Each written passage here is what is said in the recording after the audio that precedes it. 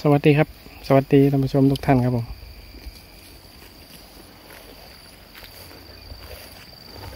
ก็อัปเดต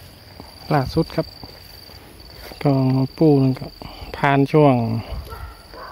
สามวันมาครับ ของการเป็นไข้สามวันไข้ขายนี่แหละ การเดินก็ดีขึ้นเรื่อยๆครับ ก็น่าจะปลอดภัยนะครับแต่ก็ไม่ได้ประมาทนะครับก็คอยดูอาการมันตัวอง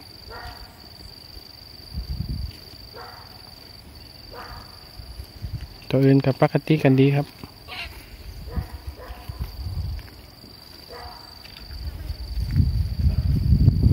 เดี๋ยวอาจจะได้กรอกยาไทยหมูปูนี่ สองตัวนี่ยาไทยก็ใกล้จะหมดละเมื่อว่าก็กรอกควายน้อยไปครับ ควายที่ลูกไม่หนุนกำลังเกิดมานะกรอกไปแล้วครับสิบกว่าวันผมก็กอกแล้วเพราะมันเริ่มกินดินครับ เริ่มกินดินเริ่มแทะหญ้าครับ ว้านี่เริ่มแรกมันจะไม่เคี้ยวมาแค่สองครับ มันจะบยังงัวนะงัวถ้าสมบูรณ์แต่แต่มันก็จะออกมาครบเลยเคี้ยวน้ำนม แต่เหงือกมันจะบ่แข็งแรงแต่ต้องใช้เวลาสักพักหนึ่งเหงือกมันก็จะแข็งแรงครับ มันก็จะเริ่มเล็มหญ้าควายนี่เคี้ยวมันจะขึ้นมามาดูนะ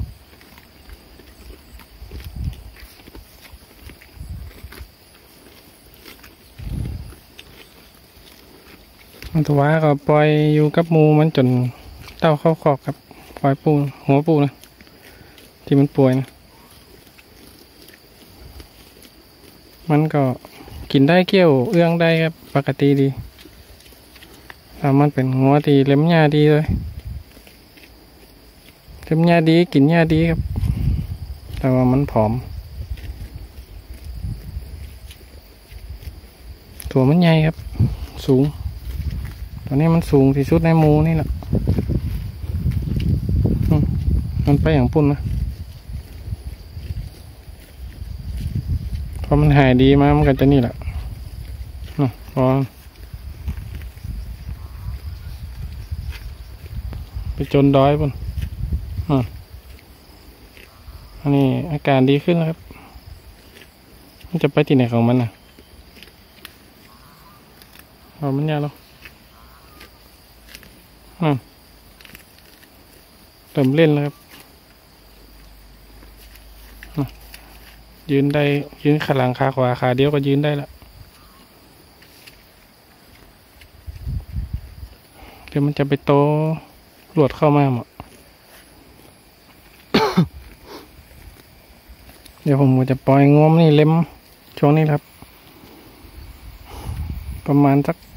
ไหล่ปลายสองไหล่ครับ ปล่อยมันเล็มอยู่ในนี่แหละ เมื่อวานก็ปล่อยมันเล็มอยู่นี่แหละ ไปที่อื่นก็ผมมีตีเล็มครับตั้งเหนือมันก็ควายจองแต่นี่งัวมันเล็มแบบกินข้ามยงข้ามยางนะ กินเป็นยำยำบางตีมันก็มาเล็ม ปล่อยมันมาเล็มมันอื่นครับ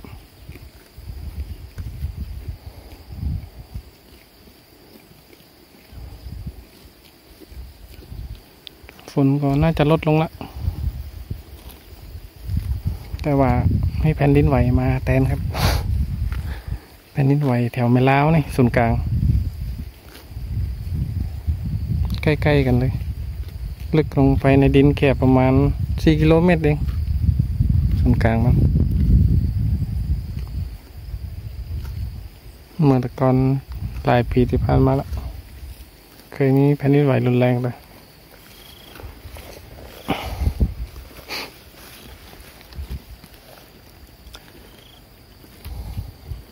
รมชาติเนี่ยมันสุดๆเลยครับ แต่ละปีเนี่ย ปีนี้น่าจะนักที่สุดละมันจะเริ่มนักขึ้นนักขึ้นเนาะเพราะลิเบียโดนไปเคลื่อนแตกมาช่วยนี่ก็ไม่เคลื่อนเหมือนกัน แต่ว่าน่าจะบ่มีปัญหานะ น่าจะแข็งแรงอยู่มันเคลื่อนมาสวยครับ ที่คนชอบมาแอวกันช่วงหน้าห้อนนั่นแหละลองแพ้เปียกนั่นแหละ มันไปอย่างปุ่นคนเดียวมันนะเออหายดีมามันก็ดีอันนี้นั่นนั่นคำลมเหียเลยไปเอามันเข้ามา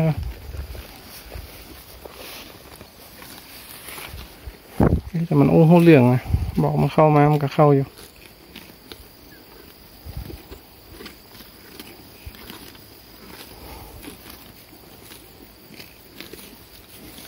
มันลาบตอนยับแตงดังครับมันเลยบอกให้ยุบสายดังนะลาบ แต่ว่านี่ใช้อย่างอื่นก็ไม่ได้มีปัญหาครับ เรื่องปอนกล้วยไต้ซุกกล้วยน้ำว้าอย่างนี้นะกล้วยซุกนี่สอบกันนะเลย ตอนป้อนของกินนี่นี่หุกกำครับแต่ว่าถ้าจะกำใจดังมันอะไรมันขางครับ นี่คือข้อดีของการทำเขาเนาะนะทำเขาไปแล้วมันก็คิดกันมาแห้งครับ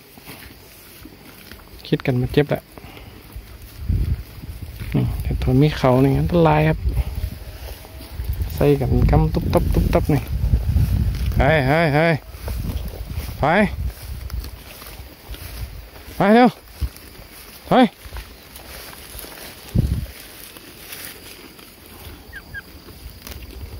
ถ้าฝนย่างมันย่ามันจะขึ้นบวยอยู่นะ แต่ว่าฝนตกนักล่ำน้ำมันขังย่ามันกับบางงามครับ มันเหมือนมีแสงแดดด้วยออกละออกละมุดเจือกออกละลูกไม่มั่งตัวนั้นไปเล่น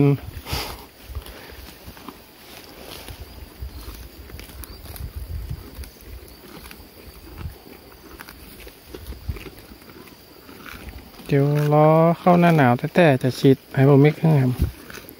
ปีนี้ฉีดไปแล้วเตือนหนึงละ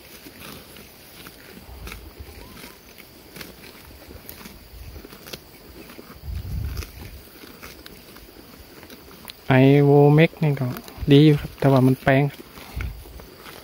มันได้ประมาณห้าสิบมลหกร้อยกว่าบาท แต่มันดีอยู่ แต่ว่ามันแปลง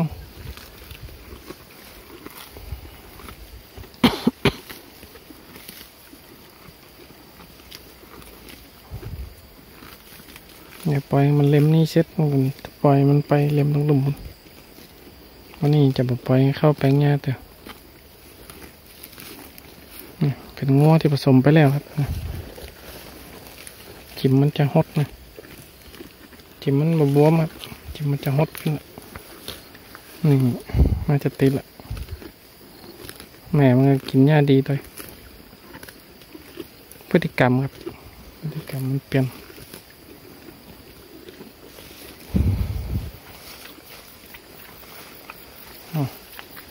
ไปละ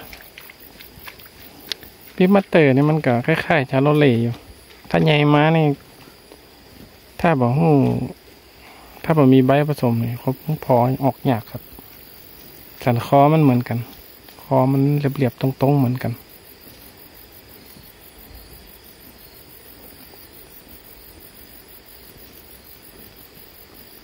ใกล้เคียงกันครับเรื่องสีมันก็มีเหมือนกันชาโลเล่สีแดงๆนี่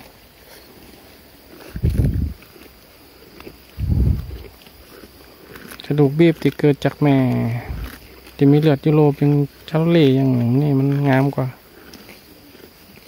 ทรงมันงามกว่า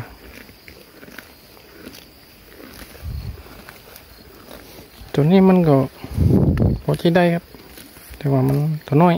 แม่มันน้อย แต่แข้งขานี่ก็พอใช้ได้อยู่ มันผอม อาจจะ เก็บไว้องคุณพอจับตัวรับ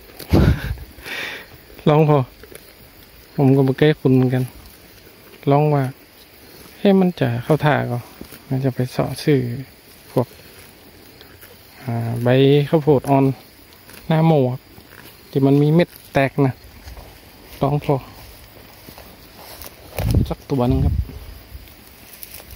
เอามันจะ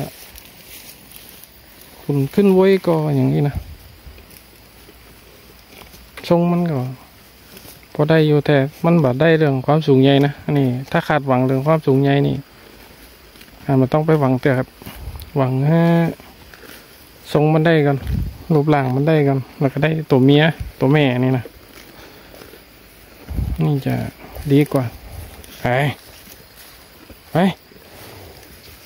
มันจะไปหากัน สอบอยู่ด้วยกันมูนี่นี่ไปแล้ว ไปไหนก็ไปด้วยกันนะ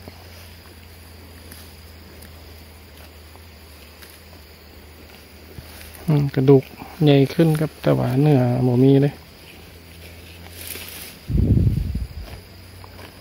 ต้องขุน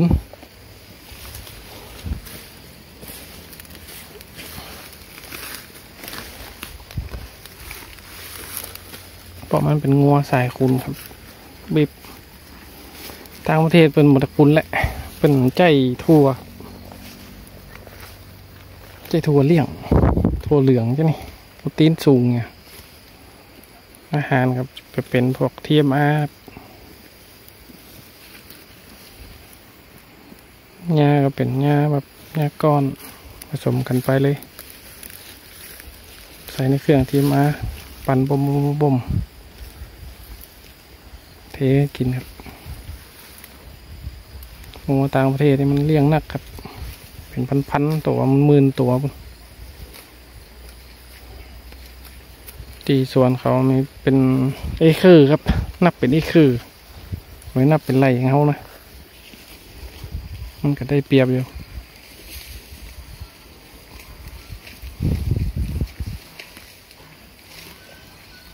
บ้านเขาก็มีการจัดประกวด การประกวดก็คือ เอาสายพันธุ์ดีๆ มาประกวดคัดเลือกสายพันธุ์ในฟาร์มตัวเก่าเนี่ย มาประกวดไม่ใจว่า เออ ไปซื้อฟาร์ม ไปซื้อจากฟาร์มใหญ่ๆมาแล้วเอามาเป็นของตัวเก่าแล้วเอาไปประกวดนี่บ่บ่ใจครับ มันต่างกับบ้านเราบ้านเรานี่ไปสอซื้อเอาเรามาประกวด มันบ่ได้การพัฒนามันต้องบีดจาก ในฟาร์มตัวเก่าแล้วก็เอาไปประกวด อันนี้ถือว่าเป็นการพัฒนาอยู่ไปไปเข้ามาเร็วน่ะน่ะน่ะลูกกินหญ้าเลี้ยงเพิ่งเลยละ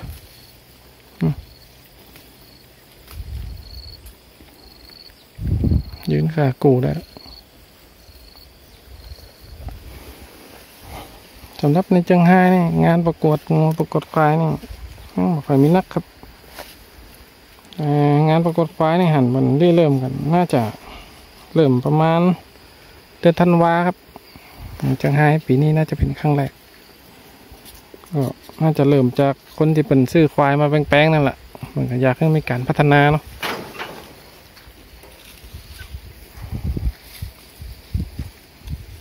เดี๋ยวก็ถ้ามีโอกาสอาจจะได้ไปดูอยู่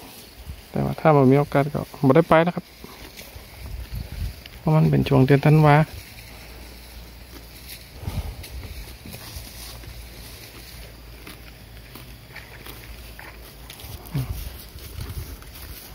การก้าวแข่งก้าวขาครับก้าวเงาเงาเตือนเดี๋ยวเจ็บครับนั่นนั่นนั่นนั่นนั่นนั่นนั่นนั่นทำเป็นห้านนะปุ๊บละหันมูนไปกับไปละก่อนที่มันมดฝนนี่เออมันลงกินไปแล้วผมมาค้างแล้วครับเอน่อยให้มันกินหญ้าดีๆไปก่อน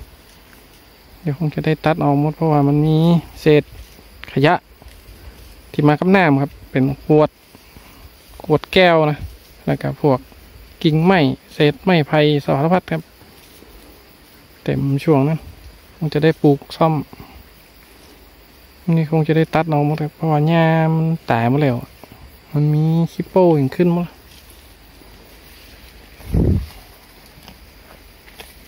จะตัดหญ้ามันนี้นะครับ ที่เป็นต้นแก่ๆเนี่ยไปบ่มบ่มบ่มไว้ทั้งหมด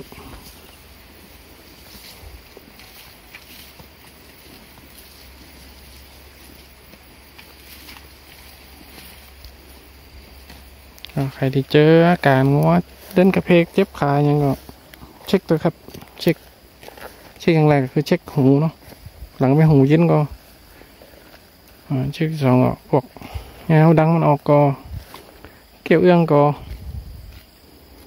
ถ้าเดินซึมแล้วเบาอย่างแล้วนี่ก็ ต้องเข้าใจชีดยาเลยครับ จัดเลย อย่างน้อยๆก็ต้องมียาแก้ไขครับลดไข้บรรเทาปวดรักษาตามอาการเลย อย่างงัวปูเนาะ ใจยาตีมีส่วนผสมของสเตียรอยได้ครับ แต่ว่างัวม้านี่ห้ามเด็ดขาดงัวต้องนี่ห้ามเด็ดขาดเลย แทงได้ทันทีครับราชีดเข้าไป ห้ามเด็ดขาดครับ เพราะฉะนั้นผมถึงเลือกบูตาซิลเข้ามานะเพราะว่าบูตาซิลเนี่ยมันครอบคลุมงัวแม่งัวน้อยงัวแม่ม้านงัวปูฉีดได้หมดครับ แต่ว่าราคามันจะสูงหน่อย อย่างน้อยๆต้องลดไข้ครับ แต่บูตาซิลเนี่ยมันเหมาะสำหรับงัวแม่งัวแม่ม้านแต่ถ้าเป็นงัวปูถ้ายังเป็นเลี้ยงงัวขุนก็ไม่ต้องใจบูตาซิลก็ได้ครับใจยาที่มันมีส่วนผสมของสเตียรอยก็ได้ มันจะหายเร็วขึ้นสำหรับงัวปูงัวขุนนี่นะจำเป็นต้องบูตาซิลส่วนยาบำรุงก็ เน้นตามอาการครับถ้ามันผอมนักก็ใช้ยำรุงเข้าไปตัวเองมันจะฟื้นตัวเร็วคลิปนี้ก็ฝากกันไว้ด้วยครับ ว่าผมก็เอาประสบการณ์ของเราฝากกันไหมคลิปหน้าผม คลิปนี้